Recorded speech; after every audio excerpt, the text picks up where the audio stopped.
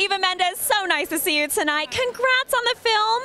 Um, you play Grace, who's a single mom, kind of a hot mess. Any similarities between the role and yourself in real life? I hope to God not. No, um, no, I, I, really hope not. But uh, I was really attracted to the role because she is a, as you say, she is a mess, and um, you know. Uh, you know, her, she herself is a girl in progress, which I was attracted to because I, I think we're all works in progress, and um, uh, yeah, it was fun to kind of uh, act out in a way. One more time, one more time. One more time.